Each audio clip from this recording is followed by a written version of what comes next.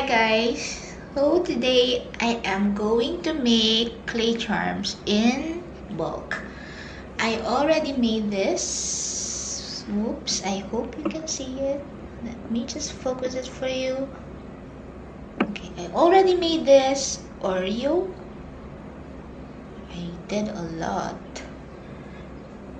So I just decided to use air dry clay because as you all know, polymer clay is like um, it's super hard and firm that I have to like exert a lot of effort in um, mixing and oh sorry mixing it and molding it. So I decided to switch onto using like air dry clays like this.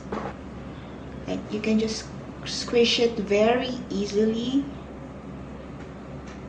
It's just because I find it really hard to make a lot of clay charms with polymer clay and I'd like to show you how my finger looks right now. I don't know if you guys can see it but as you can notice this one is bigger than the other one because um, I have been using polymer clay for 11 years now and yeah I use this finger most of the time.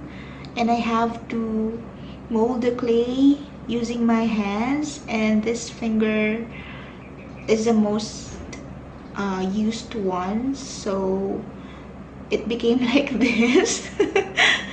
I don't hate it. I don't hate it though because it's like an artist mark for me.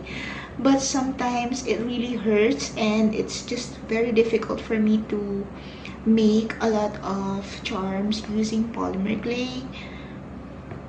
And I just wanna you know I don't want to lose my finger. Yeah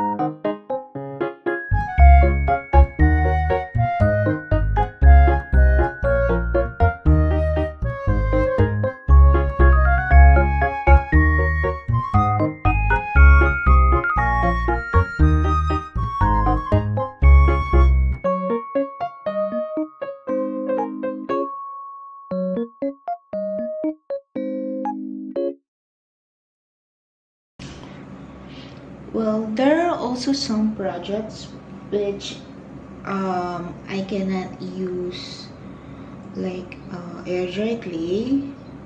So I still use polymer clay for those projects like this one. It's super small and it needs to have like super tiny details. Sometimes air dry clays cannot be used to make super tiny details because in making tiny details you need to like um, take your time and sometimes air dry clays dry quickly. So yeah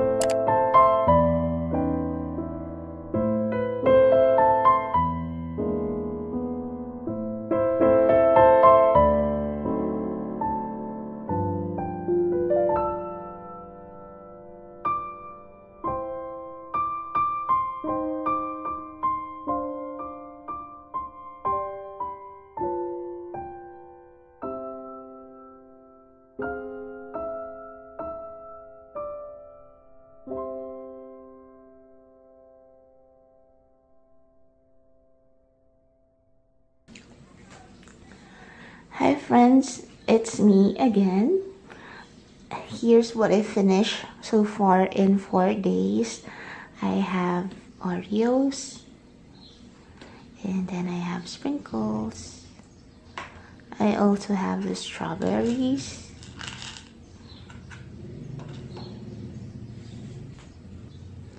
Here are the cute bears and bunny I have desserts here and these are the gripped up bases. And my favorite is this sleeping bunny in pancake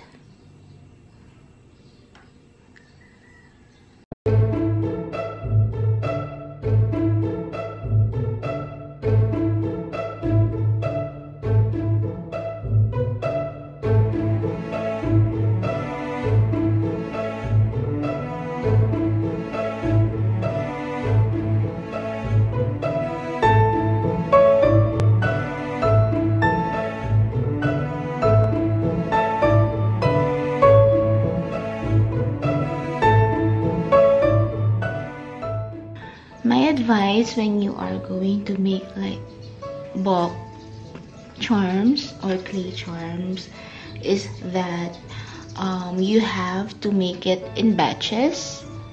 Like for example I made this all first. It it just gave me like a sense of accomplishment every time I see or finish something and it refreshed my mind into like you know the feeling of you are you have done something great and then you just want to jump on to the next project. It feels like that for me so that's what I do. I finish charms in batches. First I made like I finish all the bears and the bunnies and then move on to the next. Even though they're not fully finished yet I just feel like I accomplished something and it makes me excited to um, start with the next one. So I finished sticking on the bears to the Oreos and ta-da! Here's what they look like right now. But they're not quite done yet because I have to put on frosting and the sprinkles on them. So let's hop on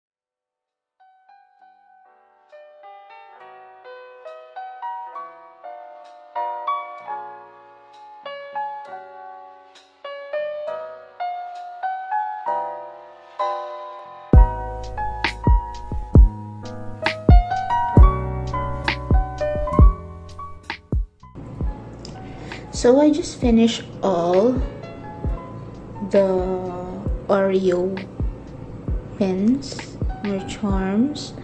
Now I am moving on to making this. I already prepped the bases because as I've said I work in batches. So I've already prepared the bases and right over there as you can see I already prepared all the stuff that will be put in here so I have the macarons the ice cream um, some chocolate chip cookies and this tiny strawberries.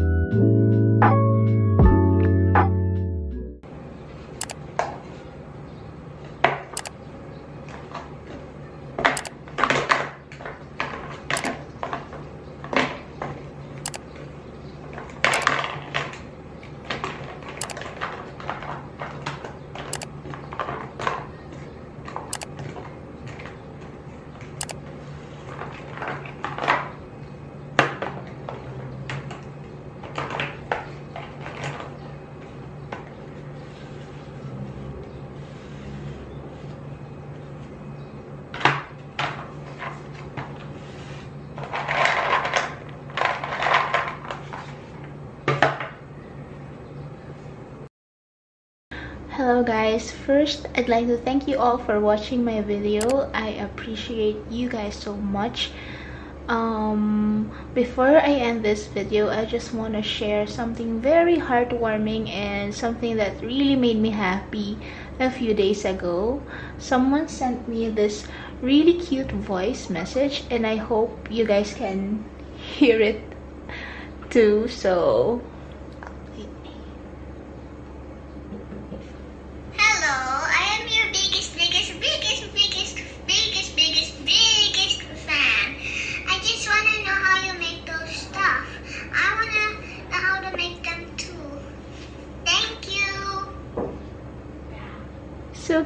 right? You don't know how happy I am when I heard this video. And I just want you guys to know that I appreciate every one of you every comment every view every messages. I really love them and it made me more motivated and I feel like I can do this forever you know? So thank you so much and i see you i'll see you on my next vlog.